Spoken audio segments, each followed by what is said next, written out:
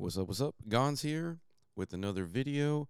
Today we're going to go over the new 2.1.1 beta that Serato released. Um, they have, I'll just kind of go through the notes here. Um, the main feature, and uh, shout out to SFT, is they added a new option to, to display song timeline as bars and beats instead of uh, displaying as time by right clicking the timeline ruler and selecting a preference. Um, I'll go through that. Um, they also changed the zoom resolution, which allowed clips to be moved around in quantized increments smaller than one beat when fully zoomed in. Fix an issue where export song dialog always opens in the same folder. Fix an issue where when a time limited license is both out of activation.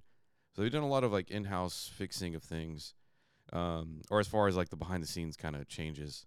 Um, also fix an issue where non-plugin files inside the plugin folder are displaying in the library. So the major one is this song timeline as bars and beats.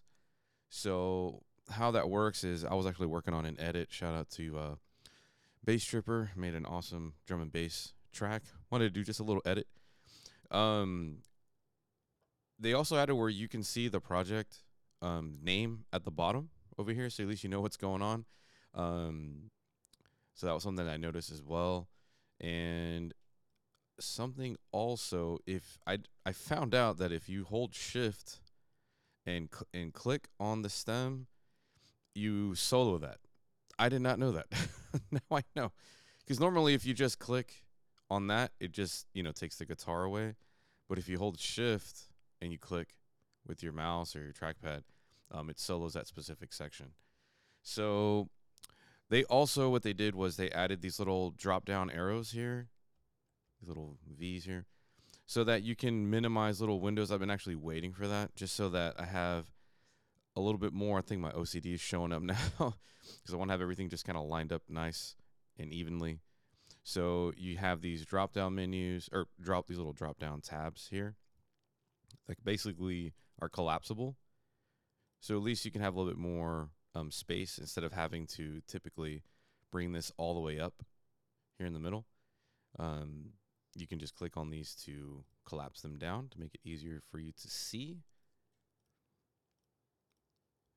And then when you right click over this timeline, you're going to now get a little window that says show bars and beats or show time. So now you can do bars and beats and you can zoom in more and more. So now you can really dial in. I'm going to open this up a little more. And again, if you want to open up a certain section, you're going to get this little icon here. That means that you can expand this. So if you really need to see that waveform, you can do that. So now I can just click on this and I can just nudge this as opposed to it snapping to a grid line right here, I can just nudge it to whatever I need it to be. Before you weren't able to do that as far as getting that amount of nudging, it would still kind of bring you to an increment. Like the alternative was to try to really use this bracket and then try to get as close as you can. Let's do a bunch of control Z here. So again, they did some they did a collapsible thing here. You see your project name here. And again, you right click, show bars and beats, show time. And they improved it definitely improved the the resolution of it. It's a little bit smoother on the way it looks here. And again, all you have to do is go over the timeline and you have these different menus here they also added create the new sample deck from Clip. That was from the past um, version. And that's about it. Just wanted to make this a quick video.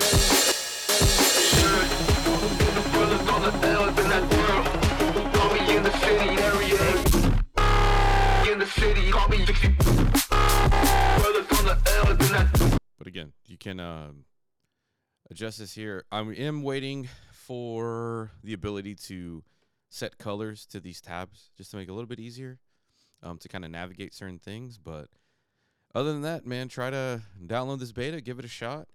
Um, let me know what you think. Always enjoy the feedback. Um, and I know Serato enjoys it as well. They're they're always doing their darndest to um, improve on the product. And I myself, as a user, um, just trying to um, keep having fun creating. And if they can make it easier for me every time they release something, the better. So try out the beta, enjoy it. Let me know what you guys think. Have a great day. Keep creating. Peace.